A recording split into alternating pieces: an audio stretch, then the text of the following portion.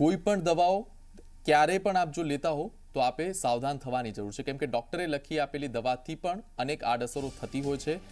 ઘેર લેવાથી દવાઓ નવી બીમારી નોતરી શકે છે. કોઈ પણ દવા લેતા પહેલાં તેની આડઅસર ખાસ જાણી લેવી જરૂરી છે. નાની મોટી બીમારી સામે આડેધડ જે જુદી જુદી અગિયાર દવાઓની લેવાતી હોય છે, તેની ગંભીર સાઇડ ઇફેક્ટ સામે આવી છે.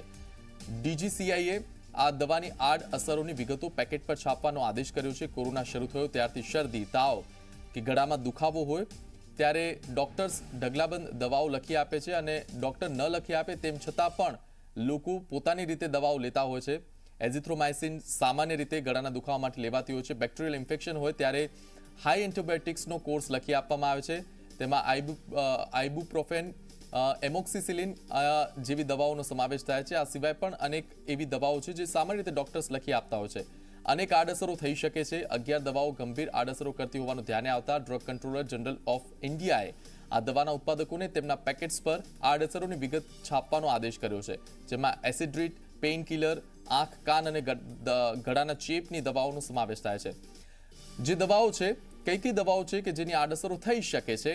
તેમાં રેનિડિટીન આઇબ્રુપ્રોફેન, એમોક્સિસિલિન ક્લોક્સાલિન જેનાથી ચામડીના દર્દ થતા હોય છે. આ, આ- દવાઓ છે કે જેની આડઅસરો થઈ શકે છે, તેની દવાઓ પર તેના જે સ્ટ્રીપ છે તેના પર તેની આડઅસરો લખવાનું, તેના પેકેટ પર આડઅસરો લખવાનું હાલ તો નક્કી કરવામાં આવ્યું છે.